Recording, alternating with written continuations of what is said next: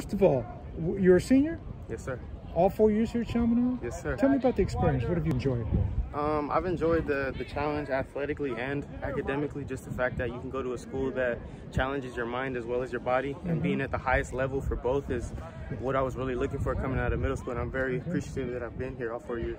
How about the challenge of Division One football? Yeah, that's that's a big challenge. It's it's actually pretty uh, fun just knowing that I'm playing at the highest level and the next level being college. If I can overcome this and uh, do the best I can and uh, make big plays, then I feel like I have a good chance at doing the same thing in college. Now, what have you learned about having to get yourself prepared for Division One football since you've done this for four years now? Yeah, I've learned that it's just about grinding in the off season. You know, when nobody's looking and when people are looking, just making sure that no matter where you're at, you're dominating at everything. Yeah. Couple last thoughts we'll do for this. Yeah. One, I'm curious about your your now that your little time has passed. Yeah. Playing football in the spring as opposed to what you would normally do. Yeah. Because of the circumstances, of course.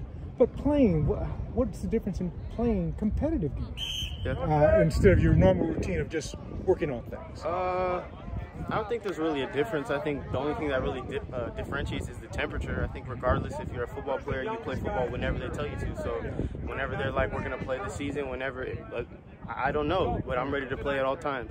Okay, all right. And uh, last thought, having people in the stands this fall. Yeah. How, what's that going to be like after last year so quiet? It's gonna be exciting. You know, you feel like you're actually playing for something, whereas you're kind of just playing for yourself when you're on the field with no one around you.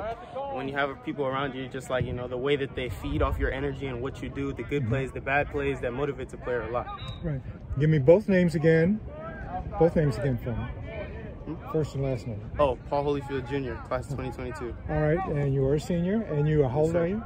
I am 18. 18 and a running back. You can vote. Yeah. I'm expecting big things out of you, man.